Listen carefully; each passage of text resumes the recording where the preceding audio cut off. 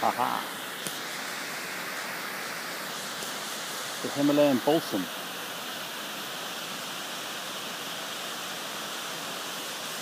You touch the seed pod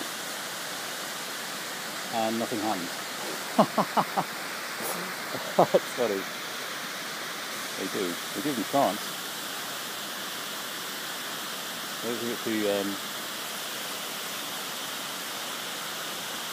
Oh there we go. A bit too wet.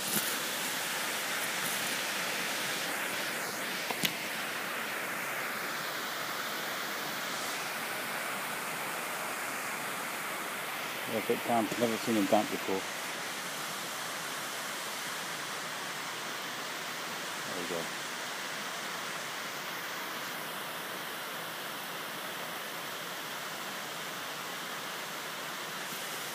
Himalayan balsam.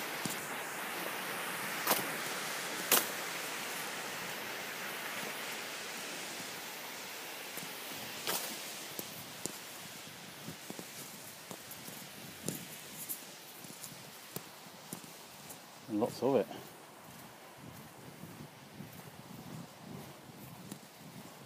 Bees like it apparently, according to Brian.